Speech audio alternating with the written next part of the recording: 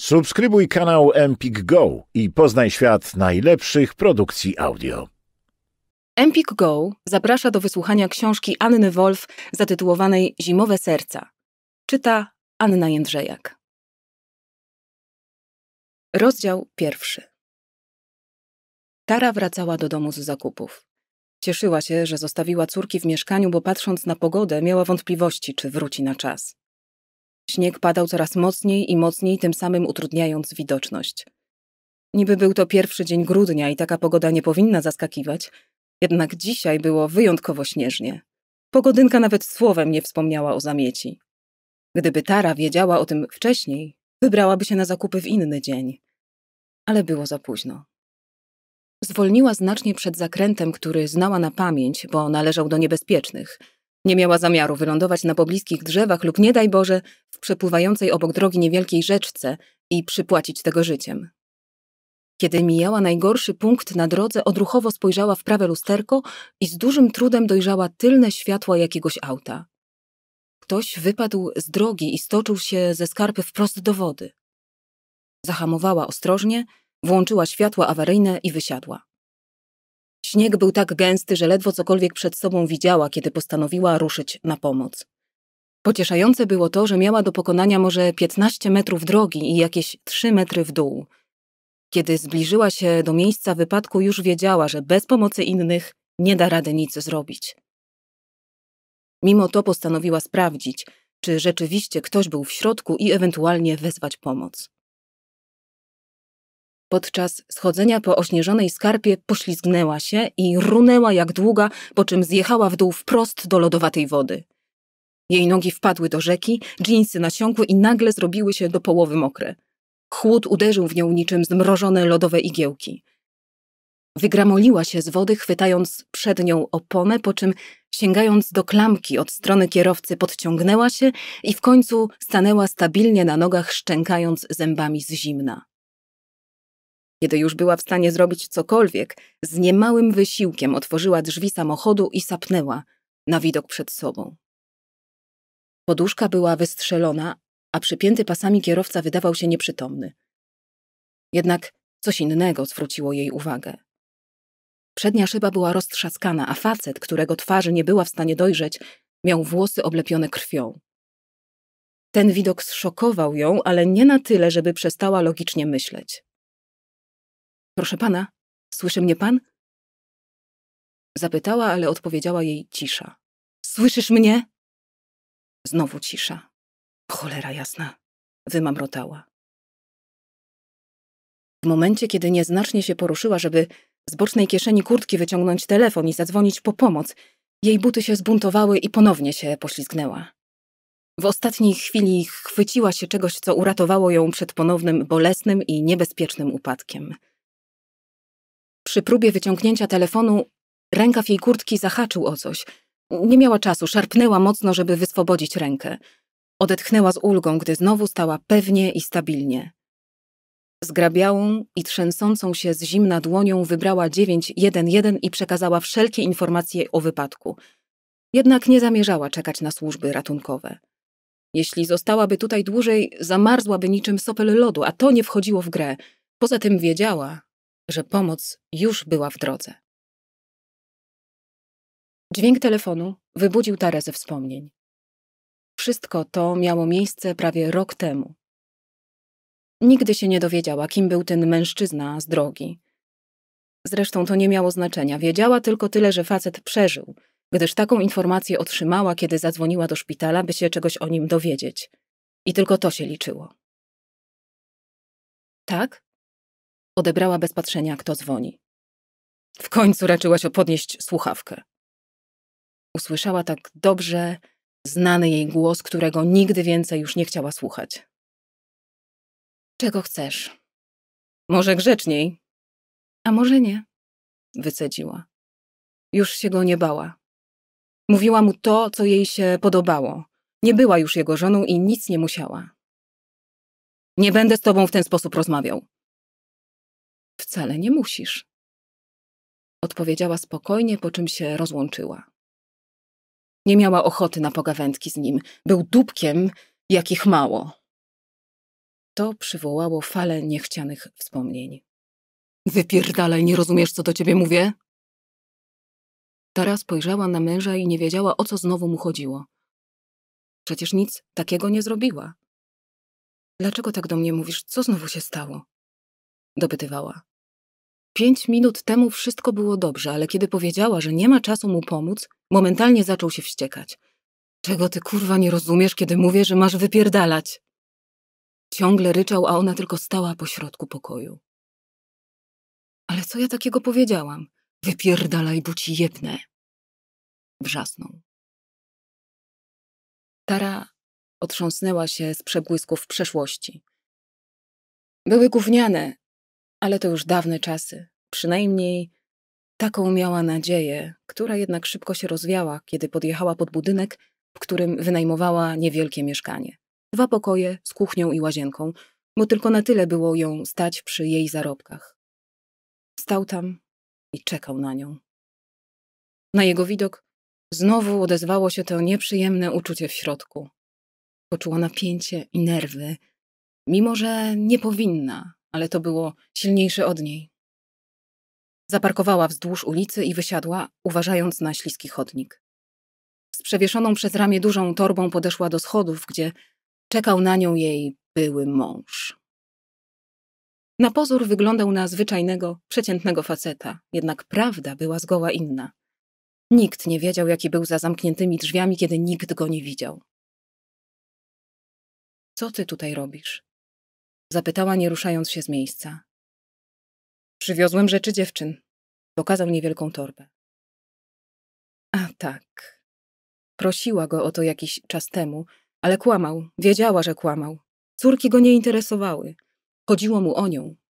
Chciał sprawdzić, czy kogoś miała. Ale to była tylko i wyłącznie jej sprawa, bo byli po rozwodzie, a rzeczy dziewczynek okazały się tylko wymówką.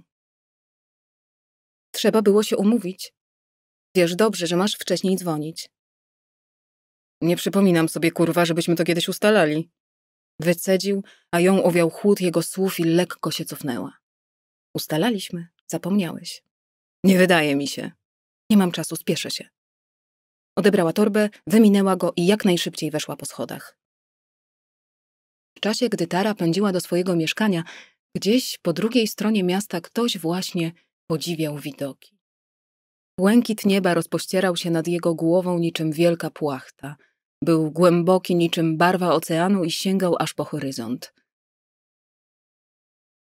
Wciąż było dla niego niepojęte, jak mógł przeżyć bez tego tyle czasu. Tyle lat za kratami. Ale był tutaj teraz i tylko to się liczyło. Był wolny, miał swoje życie, samotne, ale własne. Był panem samego siebie, jednak brakowało mu czegoś i dokładnie wiedział czego. Przeciągnął dłonią po zmęczonej twarzy i cicho westchnął. Pora było wracać do domu. Pokręcił głową. Słowo dom było dla niego obce. Nigdzie nie miał swojego miejsca. Owszem, budynek, w którym mieszkał, był teraz jego domem, ale to tylko cztery ściany, nic więcej. Dla niego domem były osoby, które się kochało. Ale w tym momencie nie wiedział, czy kiedykolwiek jeszcze będzie miał szczęście się zakochać. Z jego przeszłością, która niby została za nim, wcale nie było to takie proste. Nie skazałby swojej kobiety na niewiedzę, musiałby być z nią uczciwy i powiedzieć, kim był w przeszłości. Co oczywiście nie byłoby problemem, o ile ona nie uciekłaby niczym spłoszone zwierzątko. Niestety było to prawdopodobne na 90%. Tylko chyba kobieta niespełna rozumu chciałaby z nim być. Biorąc pod uwagę jeszcze jego wygląd, to jego szanse malały do zera. Ale dla niego liczyła się tylko szczerość i uczciwość. Był za stary na zabawę w kotka i myszkę. Pragnął mieć kogoś, kto pokocha go takim, jakim był naprawdę. Ale i sam chciał mieć kogoś, w kim mógłby się zakochać. Dla niego to było bardzo proste. Może los będzie łaskawy i postawi na jego drodze osobę, która odda mu swoje serce, ale też przyjmie i jego.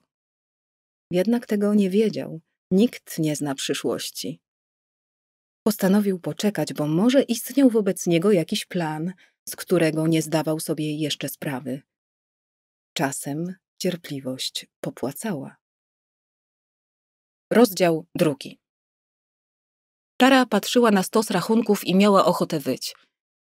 Wydawało się, że wszystko powinno układać się dobrze, ale wcale tak nie było. Po rozwodzie, który o dziwo przebiegł bez problemu, okazało się, że to tylko złudzenie. Liczyła, że jej mąż już teraz były, odpuści. Jednak tak się nie stało. Miała już ponad trzydzieści lat i bycie samotną matką bywało czasami do dupy. Ale posiadanie męża psychopaty też nie okazało się szczytem marzeń. Choćby nie wiadomo, jak bardzo chciałoby się zmienić przeszłość, zwyczajnie nie dało się tego zrobić. Jednak pewnej części swojego życia nigdy by nie zmieniła. Mamo! Odezwał się cichy dziewczęcy głos. To był jeden z powodów, dla których przeszłość zostawiłaby bez zmian. Dlaczego nie śpisz? Spojrzała na młodszą córkę, którą kochała ponad wszystko, tak samo jak jej starszą siostrę. Czy będziemy mieć w tym roku święta? Tarek chwyciło coś za gardło. Jej dzieci były na tyle duże, że rozumiały, co się działo. Ale i tak było jej przykro, że wszystko wyglądało w ten sposób.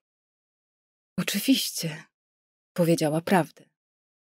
Miała pieniądze na święta i na prezenty dla córek też było ją jeszcze stać. Nie będą kosztowne, bo przecież w życiu liczyły się inne rzeczy, nie tylko wartościowe przedmioty lub pieniądze. Niestety jej były mąż tego nie rozumiał. Dla niego kasa i pokazywanie się były czymś ważnym, dla niej niekoniecznie. Więc mogę iść spać, oznajmiła dziewczynka. Dała tarze całusa i poszła do siebie. Gdy tylko zniknęła za drzwiami, po policzkach kobiety popłynęły łzy. Tak bardzo by chciała, żeby los okazał się inny, ale życie było, jakie było. Nie mogła się załamać, miała przecież dla kogo żyć. Były dzieci i musiała dać radę. Szybko starła z twarzy słone krople i poszła do łóżka, wmawiając sobie, że jutro przecież będzie dobrze. Z rana zawsze wszystko wyglądało inaczej. Ale następny dzień wcale nie okazał się lepszy od poprzedniego. To była istna katastrofa. Jakiś rodzic bezpodstawnie nawrzeszczał na nią, po czym okazało się, że to pomyłka. Nawet przeprosiny nie zmieniły tego dziadowskiego uczucia, kiedy zmieszano ją z błotem za nic. Miała dosyć tego dnia, a było dopiero popołudnie. Liczyła na święty spokój chociaż na zakupach. Wyszła, obładowana papierowymi torbami ze sklepu i już miała wrzucić się do bagażnika, kiedy jedna z nich wymsknęła jej się z rąk i uderzyła o zaśnieżony asfalt. Pięknie. Tylko mnie to mogło spotkać. Wymamrotała pod nosem. Zwiesiła głowę, westchnęła ciężko i przykucnęła, żeby podnieść sprawunki. Podejrzewała, że słoik z masłem orzechowym nadawał się zapewne tylko do śmieci. Dźwiganiu toreb towarzyszyło trzeszczenie potłuczonego szkła. Pomóc? Gdy usłyszała gdzieś za sobą męski, niski głos, lekko zesztywniała. Dziękuję, ale nie. Odpowiedziała i wstała. Dam sobie radę. Szybko włożyła zakupy do bagażnika, zatrzasnęła go i dopiero wtedy się odwróciła. Zastykła. Wszystko dobrze? Tak, wykrztusiła, patrząc osłupiała na mężczyznę przed sobą. Przełknęła z trudem ślinę. Przepraszam, ja muszę jechać. Szybko się odsunęła, po czym wsiadła do auta. Odjechała prawie z piskiem opon co róż, spoglądając w lusterko, jakby się spodziewała, że ktoś zaraz ją zaatakuje. Widziała, że facet nadal tam stał i patrzył za jej odjeżdżającym samochodem. Erik chciał pomóc, a tylko wystraszył kobietę. Wiedział, jak wyglądał. Może nie był jakimś olbrzymem, ale jednak jego postura, ostre rysy twarzy i ta cholerna blizna sprawiały, że każdy się go bał. A do tego ogolona na łyso głowa i tatuaże też robiły swoje. Dzisiaj miał na sobie czapkę i zimową kurtkę, taki drobny kamuflaż, a i tak ta kobieta uciekła, jakby się paliło.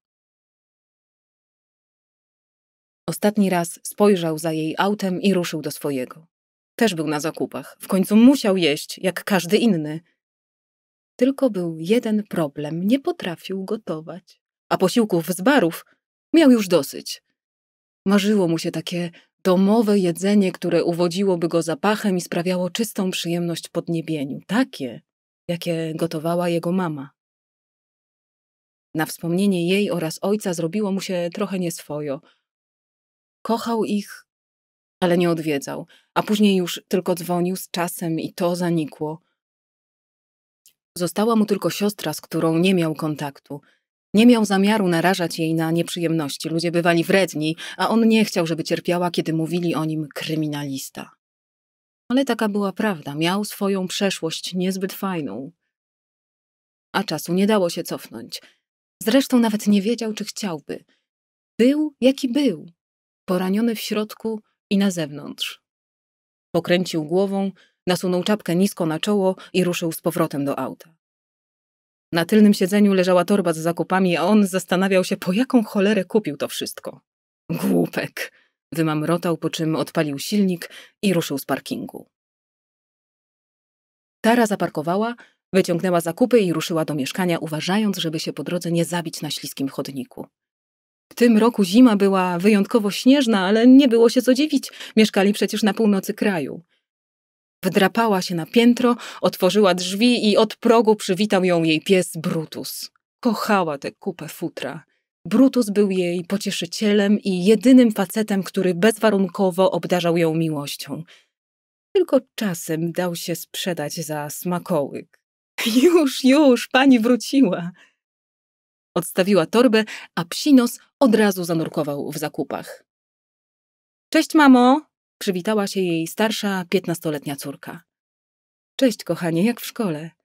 Dobrze, ale wiesz, kiedy szły do kuchni, zaczęła jej opowiadać o tym, co działo się na szkolnych korytarzach. Cześć, mamo. Do kuchni weszła druga córka, dwunastolatka. Dobrze, że jesteś. Cześć, skarbie, wszystko dobrze? Coś blado wyglądasz, źle się czujesz? Trochę tak. Brzuch mnie boli, mam okres. O, westchnęła Tara. Zaraz coś ci dam. Dopiero wieczorem, kiedy dziewczyny spały we wspólnym pokoju, a ona leżała w drugim z psem, który zajmował miejsce w jej nogach, miała czas na rysowanie. To była jedyna rzecz, która należała tylko do niej. Lubiła to robić. To zajęcie przynosiło jej chwilę zapomnienia. Jednak dzisiaj miała dosyć. Mimo, że jutro była sobota i mogła posiedzieć dłużej, nie chciała. Pragnęła jedynie porządnie się wyspać, potrzebowała snu. Odłożyła kartki i akwarele, de facto prezent od byłego męża, i zakopała się w pościeli, po czym odpłynęła w sen. Niestety, chociaż tak bardzo chciała pospać, to nie mogła. Pies obudził ją wcześnie rano swoim piszczeniem. Zwlekła się z łóżka i ledwo świadoma tego, co robi, włożyła na siebie to, co akurat miała pod ręką, po czym skoczyła w śniegowce, zimową kurtkę i wyszła z Brutusem na dwór. Rześkie powietrze uderzyło w nią gwałtownie, gdy tylko znalazła się na zewnątrz i prawie doznała szoku. Po dziesięciu minutach spacerowania była rozbudzona, ale i trochę zmarznięta. Zdała sobie sprawę, że wyszła w jakichś badziewnych leginsach, które wcale nie chroniły przed zimnem, więc ruszyła z powrotem do mieszkania. Pech chciał, że Brutus pociągnął ją zbyt mocno, a ona nie zauważyła zamarzniętej kałuży ukrytej pod śniegiem i wywinęła orła, wpadając przy okazji w pobliską zaspę. Jęknęła, jednak wciąż trzymała smycz w dłoni. Nim na tyle doszła do siebie, żeby wstać, minęła jakaś chwila. Brutus stanął nad nią i spuścił pyszczek, patrząc swoimi brązowymi ślepiami wprost na swoją panią, a potem zaszczekał wesoło, jakby dla niego była to dobra zabawa. Może i była. I co ty, łobuzie? wymruczała pod nosem. Może pomogę? Usłyszała męski głos i nim zdała sobie sprawę z tego, co się dzieje, już była podnoszona. Gdy wreszcie stała stabilnie, spojrzała na swojego wybawiciela i za nie mówiła. To ty, powiedziała cicho, zaskoczona jego obecnością tutaj. Poznała go. Wczoraj nie pozwoliłaś mi pomóc, ale dzisiaj zdaje się, że byłaś w większej potrzebie. Ta, Dziękuję, ale muszę już iść. Wydusiła z siebie. Proszę. Tara spojrzała na wizytówkę w dłoni mężczyzny. Wyciągnął ją w jej stronę. Weź, może ci się przyda, kiedy znowu wpadniesz w zaspę. Bardzo śmieszne. Wymamrotała, ale wzięła kartonik. Dzięki. Dodała i ruszyła do domu. Erik pokręcił głową, ale uśmiechnął się na widok kobiety, która w tej chwili wyglądała niczym bałwan. To, że znowu się spotkali, było czystym przypadkiem. Właśnie odśnieżał ulicę, kiedy zobaczył jakąś osobę, która upadła i się nie ruszała, więc postanowił jej pomóc. Nie przypuszczał tylko, że to będzie ona, kobieta z parkingu. W sumie nie wiedział, dlaczego dał jej wizytówkę swojej firmy. Przecież nie potrzebowała odśnieżania czy usług budowlanych. Z niewiadomych przyczyn jednak to zrobił. Ta, łupek ze mnie. Pomyślał i ruszył do swojej odśnieżarki. Została mu jeszcze z godzina roboty i w końcu będzie mógł zjeść w spokoju śniadanie i pozbyć się z głowy obrazu jej zielonych oczu, które patrzyły na niego łagodnie. Kilka dni później Tara miała mały tyci problem, o ile w ogóle można było go tak nazwać. Prędzej chyba pasowałoby tu słowo niezdecydowanie. Biła się z myślami. Nie wiedziała, czy zadzwonić, czy może jednak nie, napisać, albo lepiej nie. Właśnie to od kilku dni zaprzątało jej głowę. Tara zastanawiała się, co powinna zrobić. To był ten facet z parkingu, ale tym razem wyglądał jakoś inaczej. Nie wystraszyła się tak jak za pierwszym razem, ale też nie była zbyt miła wobec niego. Z tego powodu odczuwała lekkie wyrzuty sumienia. Przecież mężczyzna nic jej nie zrobił. Suche dzięki, które tak niedbale rzuciła teraz, wydawało się kuriozalne. Chryste, co ja niby mam zrobić? Myślała nagłos, chodząc po pokoju. Brutus patrzył na nią jak na kogoś niespełna rozumu. No co? Zapytała psa, jakby potrafił jej odpowiedzieć. Z czym? Odezwała się znienacka Bea, jej starsza córka. Z tym. Zamachała wizytówką. Pamiętasz, jak mówiłam wam, że wpadłam w zaspę i ktoś mi pomógł? Pominęła część o sklepie i parkingu. O tak, ale czekaj! Bea wyrwała jej papier. Chcesz do niego zadzwonić? Nie wiem. To znaczy, potraktowałam go tak trochę sucho, surowo i może mogłabym do niego napisać jakieś podziękowanie czy coś.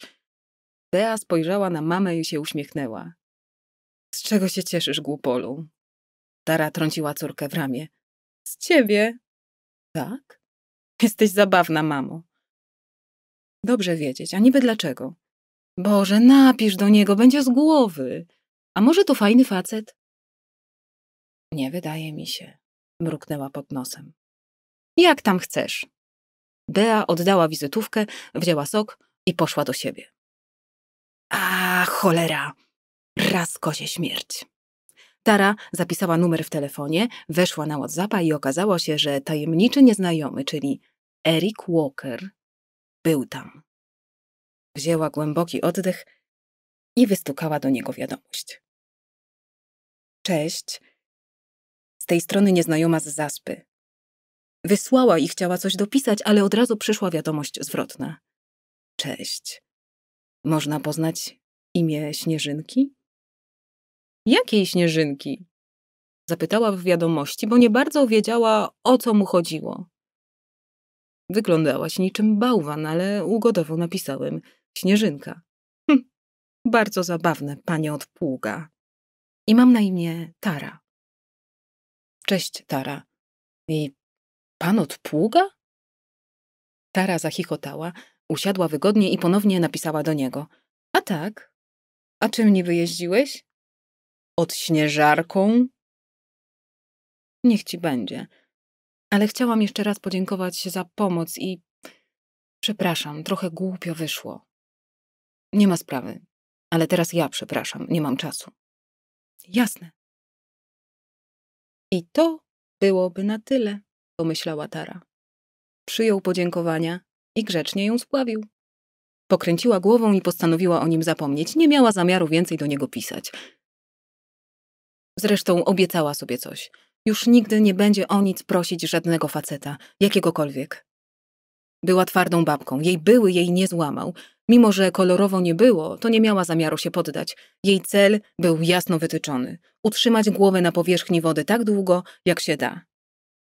Spojrzała na telefon, wyszła z aplikacji i poszła przygotowywać kolację dla córek. Wariatka ze mnie, wyszeptała. Erik patrzył w telefon i nie wierzył, że do niego napisała. Przewijał wiadomości, żeby jeszcze raz przeczytać. Owszem, nie było to nic wielkiego, ale jednak cieszył się, że skorzystała z jego wizytówki i się odezwała. Za pierwszym razem, kiedy tylko chciał pomóc, nawet nie widział, jak wyglądała, bo kucała przy aucie. Ale kiedy odwróciła się do niego, wtedy zobaczył na jej twarzy szok oraz strach. Jednak w jej zielonych oczach dostrzegł także coś poza nimi. Tliło się w nich coś jeszcze, coś, czego w tej chwili nie potrafił nazwać. Spojrzał ponownie na telefon i pokręcił głową z litości dla samego siebie. Ta, kretynie, to niczego nie zmienia. Wymamrotał pod nosem. Tylko napisała, żeby podziękować. Co, czego nie zmienia? Zapytał jego współpracownik, wchodząc do pokoju. Nic takiego. Jasne, ale szefie, mamy problem. Musisz na to spojrzeć. Erik schował telefon do kieszeni dżinsów i podszedł do stołu, na którym rozłożono plany przebudowy pewnego budynku, który kupił wraz z domem przy lesie, gdzie teraz mieszkał. Do tego miał jeszcze spory kawałek ziemi. Ogrodzenie wokół było stare i wymagało wymiany, ale niestety pogoda na to nie pozwalała, więc będzie musiał zapewne poczekać z tym aż do wiosny. Jednak i bez tego miał pełno roboty związanej ze swoim domem. Musiał dokończyć niewielką przebudowę w środku, wymienić podłogi w pokojach, a do tego pozostawało jeszcze jedno pomieszczenie, ale zupełnie nie wiedział, co z nim zrobić. Zresztą to nie był problem. Zostawi puste i tyle. Wieczorem usiadł w fotelu z kubkiem gorącej herbaty w dłoni i wygodnie oparł plecy. Był zmęczony, ponieważ cały dzień musiał stale coś po kimś poprawiać, a do tego zima jakby się uwzięła i musiał drugi raz wyjechać w miasto. Jednak nawet praca nie pomogła mu zapomnieć o zielonych oczach. Próbował przypomnieć sobie kolor włosów kobiety. Wydawało mu się, że była blondynką, ale nie dałby sobie uciąć za to głowy, bo by ją stracił. Wyciągnął telefon, wszedł w wiadomości od Tary, żeby jeszcze raz je przejrzeć, po czym odłożył urządzenie na stolik. Cholera, był idiotą. Wiedział, że ta kobieta by go nie zechciała, ale miała w sobie coś takiego, co go przeciągało. Nie miał pojęcia, co to było i kurwa będzie się smażył w piekle, ale raz kozie śmierć. Tara właśnie położyła się do łóżka, była zmęczona. Czasem dzieciaki ją wykańczały. Kochała pracę w przedszkolu, ale nie było łatwo.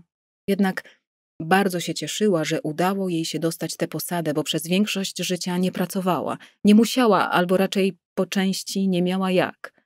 Ale teraz miała pracę, zarabiała na siebie.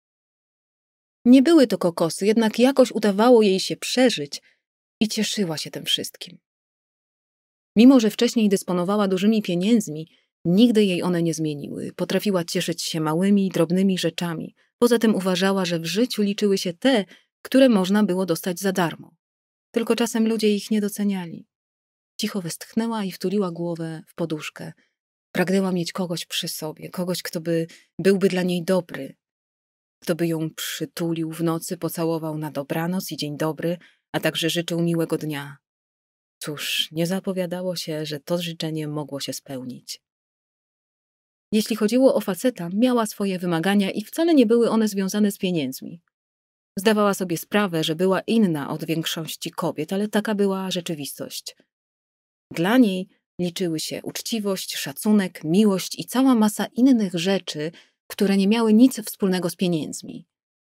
Sięgnęła po telefon, żeby sprawdzić, czy czasem nie zapomniała nastawić budzika i już miała go odłożyć, kiedy dostała wiadomość. Zapewne śpisz, a ja się wygłupię, ale jaki masz kolor włosów? Sara spojrzała na tekst i zaśmiała się cicho. To był Erik. Nie wierzyła, że do niej napisał. Ba, zapytał o kolor jej włosów. To tylko wymówka, czy naprawdę chciał wiedzieć? Postanowiła mu odpisać.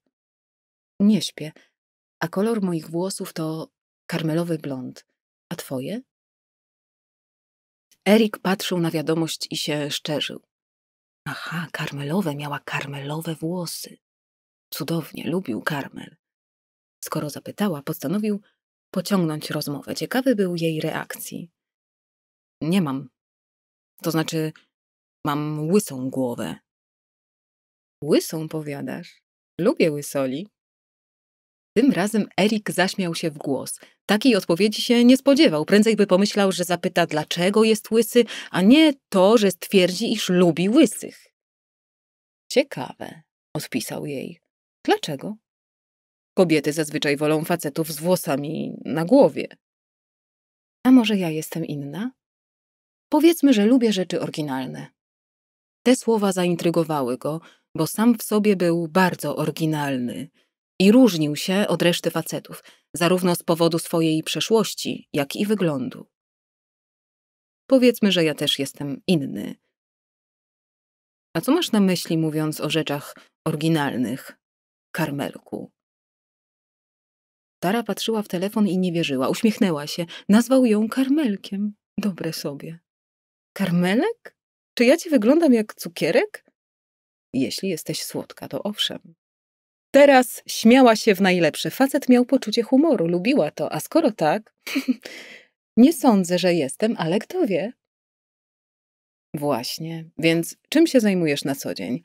Zgadnij. Ej, daj spokój, przecież nie ma mowy, że zgadnę. Wiesz, ile jest zawodów? To będziesz zgadywał do ustranej śmierci. Trudno, panie pługowy? Panie pługowy? Zaśmiał się na widok tego, jak go nazwała. Miała poczucie humoru, a to była dobra wróżba. A kto jeździł na pługu? To jest odśnieżarka, kobieto. Zwał jak zwał. Tara spojrzała na zegarek i z zaskoczeniem zdała sobie sprawę, że już od godziny powinna spać. Ale tak dobrze pisało jej się z Erikiem, że nie zauważyła, że było aż tak późno. A teraz bardzo mi przykro, ale wstaję rano do pracy. To gdzie pracujesz? Nie miał zamiaru jej odpuścić. Chciał się dowiedzieć o niej więcej. A co to? Jawna inwigilacja? Nie, ale i tak się dowiem. Mówiłem ci, że jestem inny. Groźba? Tylko obietnica. A teraz śpij dobrze, Karmelku. Dobranoc. Dobranoc. Tara odłożyła telefon i uśmiechała się pod nosem. Cóż, ten facet nie należał do przystojniaków, ale sposób, w jaki pisał, miał w sobie to coś i nazwał ją Karmelkiem. Była zaskoczona, że w ogóle się odezwał. To było bardzo miłe, jednak nie spodziewała się niczego więcej poza kilkoma wiadomościami. Była pewna, że jutro, najdalej pojutrze, mężczyzna zapomni o jej istnieniu. Jednak tak się nie stało.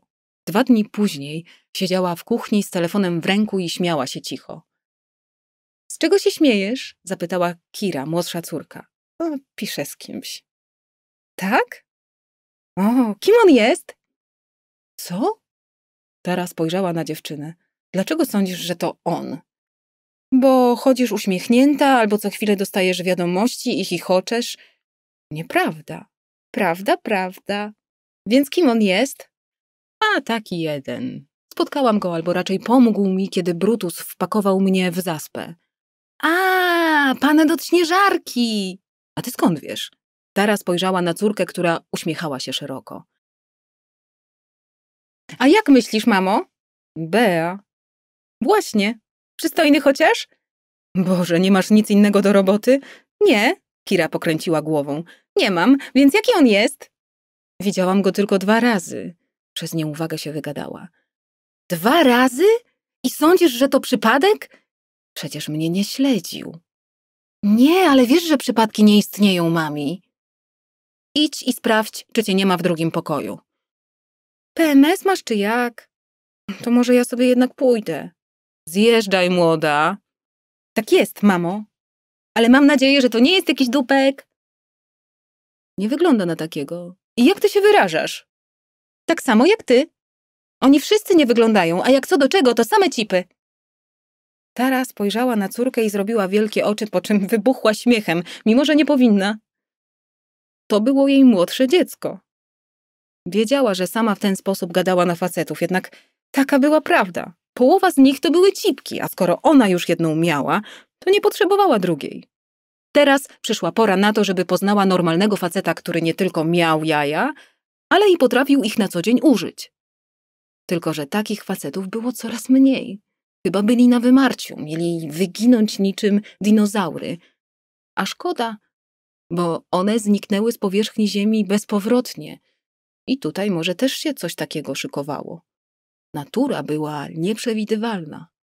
Jednym słowem, życie.